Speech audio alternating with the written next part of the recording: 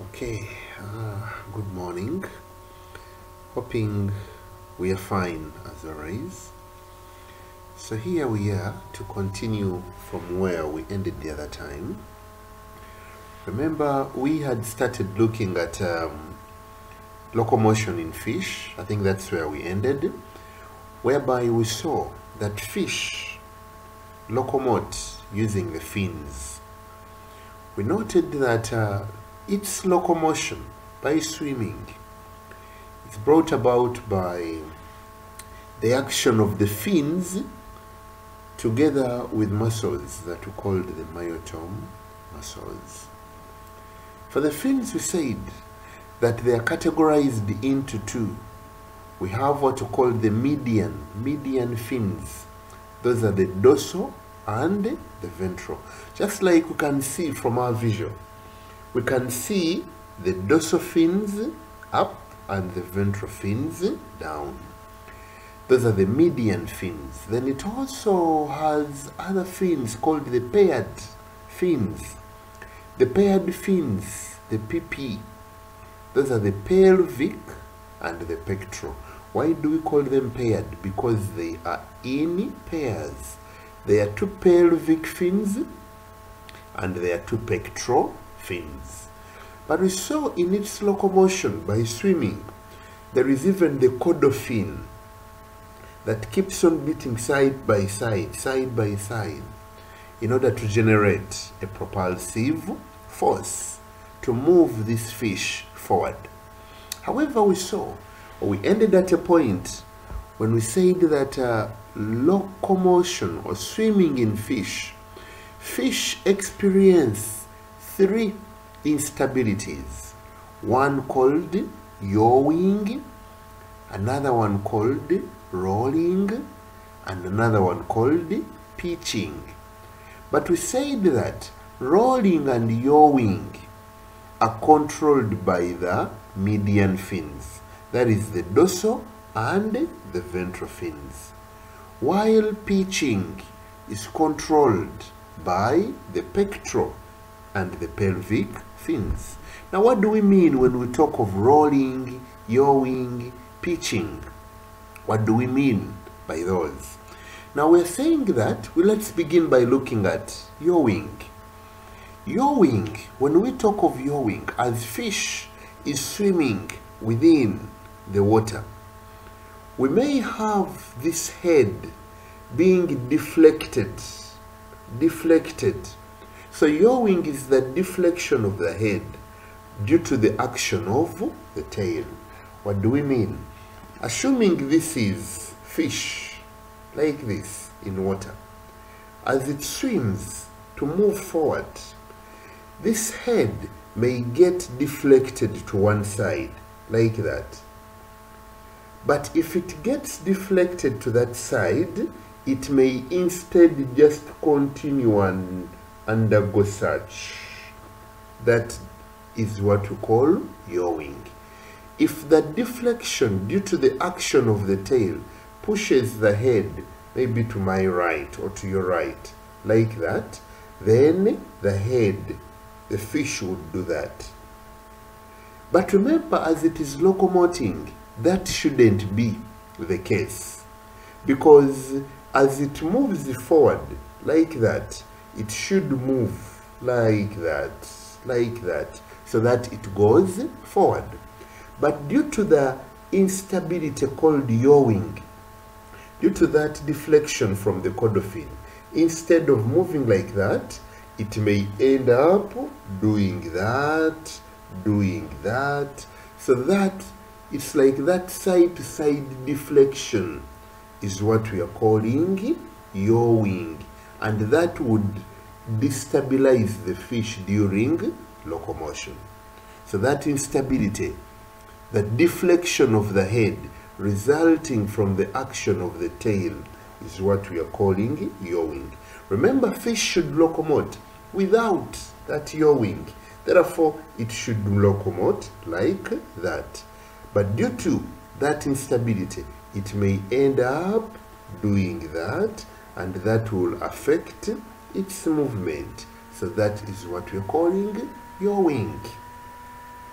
Then we have, so when we look at that image, that image is showing us, the one for yawing, it is showing us that the head is getting deflected, deflected, like that.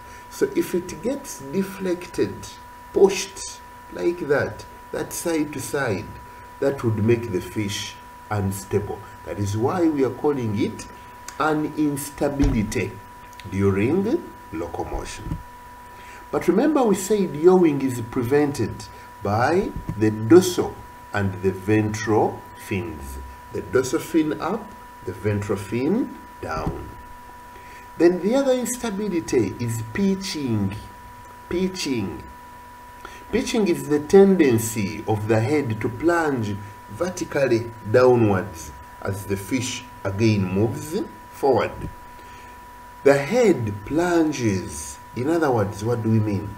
If instead of moving like that, normally, as the fish is swimming, the head is pushed down. It plunges down like that, like that. So in so doing, the fish would do that, and that would destabilize it. So it is supposed to locomote freely, to swim freely, but there is that force that causes it now to have the head pushed down. If this is the head, this side, to have the head pushed down, plunged downwards as it moves. That is what we are calling pitching. Eh? The head getting plunged down. Remember, yawing side, that deflection. Yawing.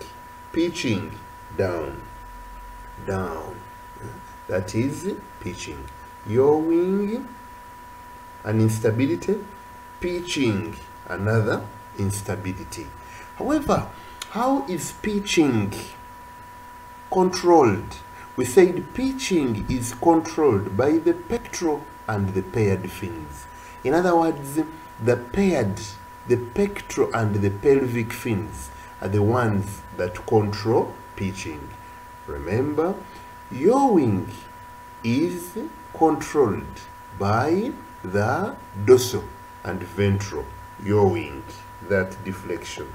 Pitching, pectoral and pelvic fins.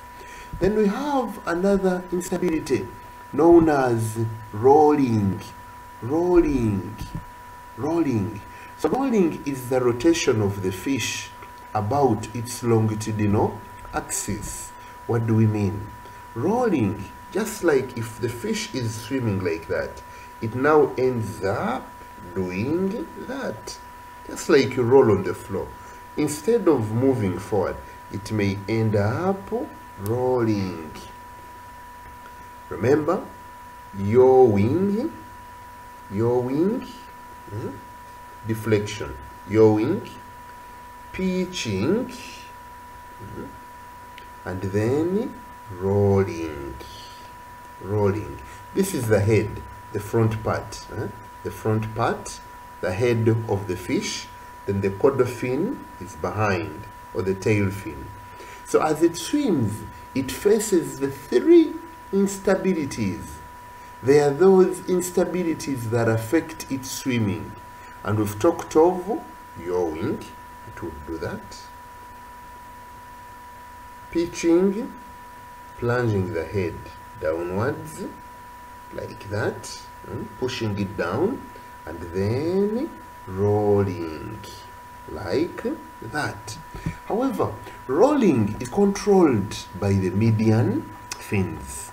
The median fins, remember we said median fins, those are the dorsal and ventral. Meaning the median or the dorsal and ventral control both yawing and rolling. While the paired, the pectoral and pelvic, those ones control pitching just like we are seeing in those images there where we have those three instabilities once again of yawing